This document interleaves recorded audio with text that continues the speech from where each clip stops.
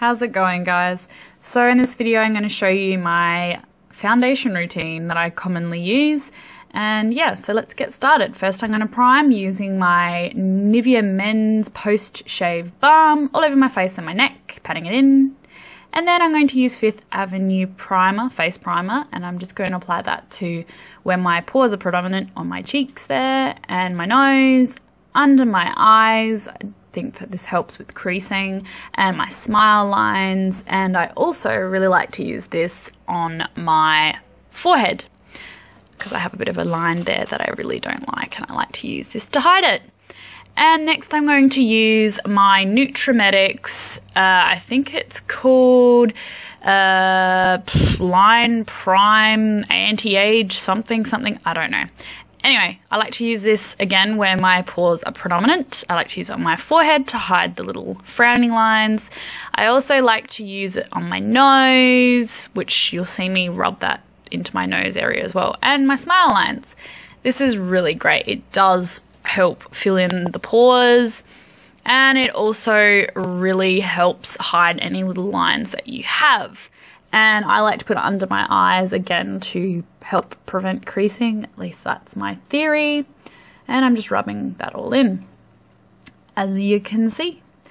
So next, what I'm going to do is I'm going to use my beauty sponge with my favorite combo, which is my BB cream by Rimmel London Matte and my L'Oreal Lumi Magique primer.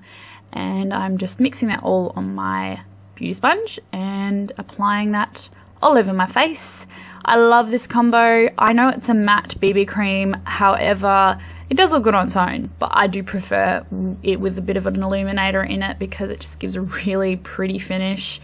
Um, the well, I mean, the primer is not affordable. It's kind of expensive. It's 30 bucks, but it really lasts because I use it in this way. It just lasts a long time. And the BB cream is really affordable. It's like 12, 13 dollars. I like it a lot. And it lasts a long time. For me anyway, it does. And yeah, so I'm just blending, blending it in. As you can see.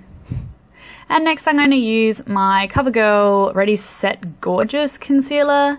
And I'm going to apply that to my under eyes. And I'm going to put it down the bridge of my nose, my forehead, my lip, or above my lip rather, and my chin. Did I say my forehead? Yeah, I'm saying it again. I do quite like this concealer. I mean, I wouldn't say it's like the fullest coverage concealer, but for me, it gives me plenty of coverage. But if you're someone who prefers full coverage concealer, then this might not be for you, but I like it. And I also like to put a little bit of the concealer onto my finger just so I can dab it onto like any pimples or anything like that. I just don't like to contaminate my concealer wand. And then I just use my beauty sponge, the pointed end, and I blend that in. It looks rather violent, but you know, it is what it is. And I just blend that in until it's looking satisfactory. And yeah, so blend, blend, blend. I love using a beauty blender. It just gives such a flawless airbrush finish. So I highly recommend if you haven't tried a beauty blender or a beauty sponge, definitely give it a go. The key is to use it damp though. Never use it dry. It's gonna just do sweet fuck all if it's dry. Having a damp one is definitely the key. So yeah.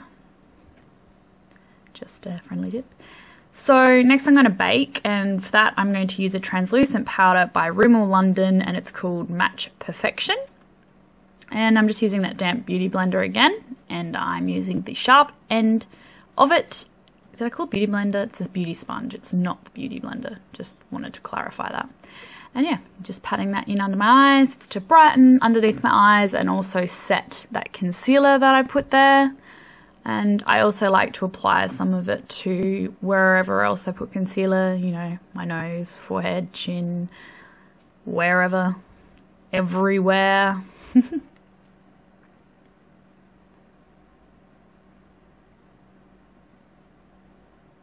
next I'm going to use my Australis Fresh and Flawless pressed powder with a big powder brush and I'm going to pat that in all over my face. And yeah, and I'm in the colour nude, in case you're wondering. My powder is a good colour match for me, I feel like. And I'm just wiping off all of that excess powder from my baking. And running the powder down my neck. Always important to blend down your neck. And that's it guys.